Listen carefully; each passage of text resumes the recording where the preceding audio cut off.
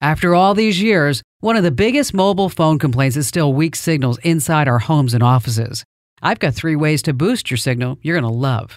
Kim Komando with your consumer tech update brought to you by Capterra. More coming up.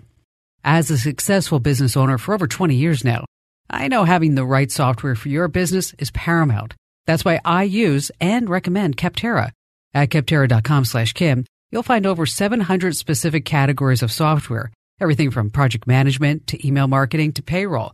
And with over 850,000 reviews from real software users, you're sure to find exactly what you need. Go to capterra.com slash Kim for free today. The fastest and least expensive way to get a stronger in-home signal is to use your home or office Wi-Fi. All the major carriers, T-Mobile, AT&T, Sprint, Verizon, now support Wi-Fi calling on their phones. Simply go to your phone settings and turn it on. Next is the Cellular Signal Booster.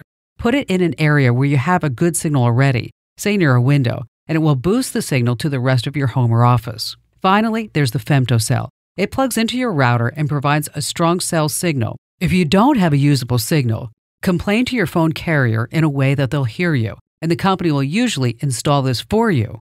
I'm Kim Komando.